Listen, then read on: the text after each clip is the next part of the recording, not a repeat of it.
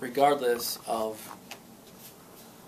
Why don't they just lower their prices by four or five bucks and actually be competitive to the more people actually want to order room service?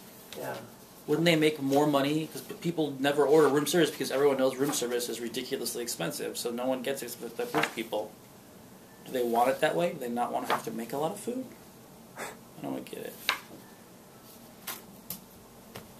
Are you filming me? Uh, film is a outdated term.